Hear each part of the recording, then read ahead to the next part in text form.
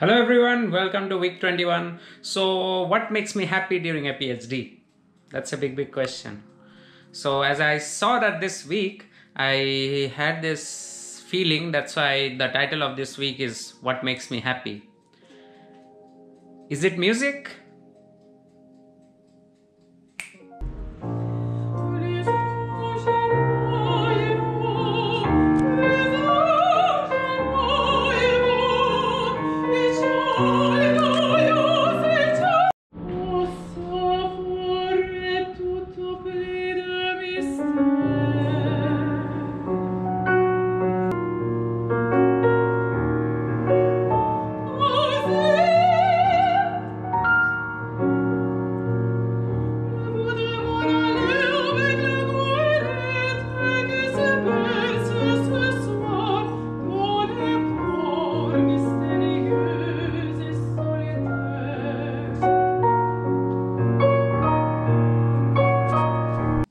I'm back. No, it's not music. Any other guesses? Leave your comments. Is it getting gifts from the university at the end of the year because of the new year gifts that you get? Something like this. Like the this is the electric flask from Inventum. It's like for boiling and heating water. Uh, no, certainly not. Not also that. So what actually makes me happy? Stay tuned for this video to know what actually makes me happy and leave your comments below if you have any guesses what makes me happy. Is it cooking? Yeah, to some extent cooking uh, makes me happy. uh, watching my own vlogs? Yeah, definitely they make me happy because I'm trying to contribute something for everyone. And obviously so just try to subscribe to my channel and enjoy the content out there. Please subscribe and share spread the word that I'm here to help you. And I have different themes. This is my weekly PhD experience. There are other themes. Check out. And please please subscribe. Subscribe. If you don't subscribe and hit that like button then only we will get to know more people and uh, it will increase the visibility of the channel and everything else. So this makes me happy but there are many other factors that makes me happy during a phd uh, uh, for example you might see some of the vlogs i made before about the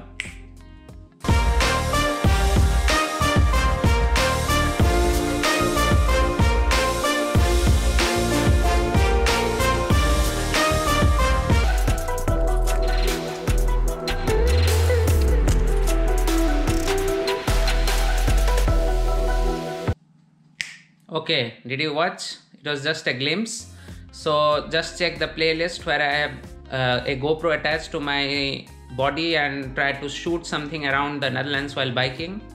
Uh, that is one of the factors. And the main factor is the phd itself. Phd itself makes me super happy. So why is it so? Why do you think? Leave your comments below. If you leave your comments below then i can know like what did you think at this moment of the video so what makes me happy in the PhD? The first thing is the nature of the PhD in Netherlands or in Europe. Check my week two video if you don't know about it. So you are an employee in Netherlands, you are not a student. So that helps a lot. Like you don't have that much of responsibility of studying like doing some courses or something like that. And you have a lot of other tasks like maybe teaching activities or maybe framing your research question so what actually uh, feels nice is that you are kind of independent. It feels like you are your own uh, although you have a supervisor but you are or your own uh, decision maker. So you can decide what you actually want to uh, frame your problem and how you are going to solve that problem so you make all the decisions you only go to your supervisor or they pass the decision when they feel it necessary it's not that they uh, nitpick everything that you decide like from a b c d E, F, G, H, everything. So they just look over certain aspects and you are your own decision maker. So that is a very powerful responsibility that you are independent and autonomous.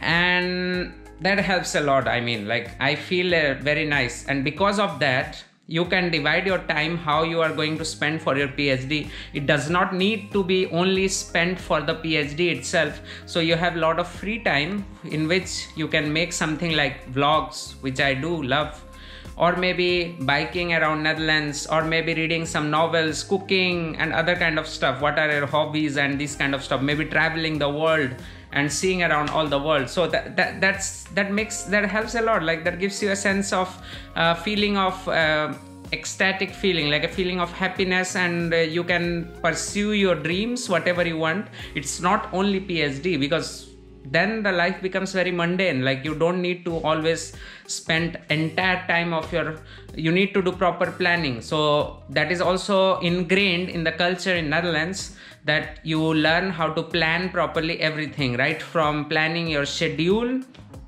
from your very childhood to planning everything during your phd and the meetings and other kind of things.